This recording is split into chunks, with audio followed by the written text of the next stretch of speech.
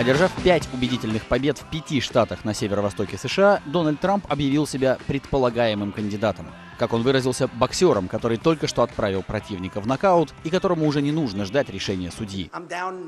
Я уверен, что выигрываю. Я считаю, что это конец гонки. Эти двое ребят уже не могут победить. Судя по всему, миллиардер уже готовится к президентским выборам и агрессивно критикует наиболее вероятного кандидата от демократов. У нее есть только одна выигрышная карта. Это то, что она женщина. И, честно говоря, если бы Хиллари Клинтон была мужчиной, за нее бы не проголосовало бы и 5%. Ей помогает только то, что она женщина. Но самое прекрасное, что женщинам она не нравится. А посмотрите, как сегодня меня поддерживают женщины. Дональда Трампа уже критиковали за высказывания, которые многие сочли женоненавистнитическими. И нынешнее заявление он сделал в тот момент, когда миллиардер вроде бы пытается сдержать свой не в меру ретивый язык.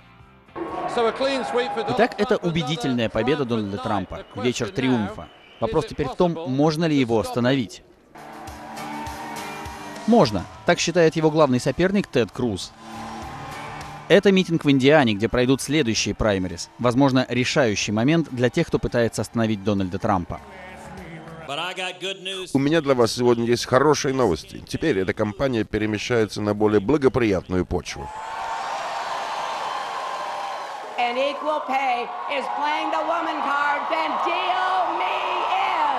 Предсказать результаты гонки за номинацию от Демократической партии намного проще. Хиллари Клинтон опередила Берни Сандерса в четырех из пяти штатов, далеко оторвавшись от соперника. Она призвала демократов сплотиться вокруг ее кандидатуры.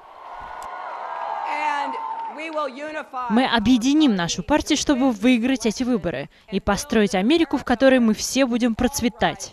Америку, в которой мы поддерживаем друг друга, а не пытаемся спихнуть друг друга в пропасть. Берни Сандерса теперь призывают отказаться от гонки, но он говорит, что его политическая революция будет продолжаться.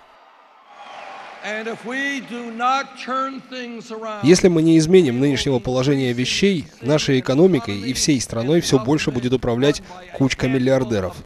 Но вместе мы можем предотвратить это.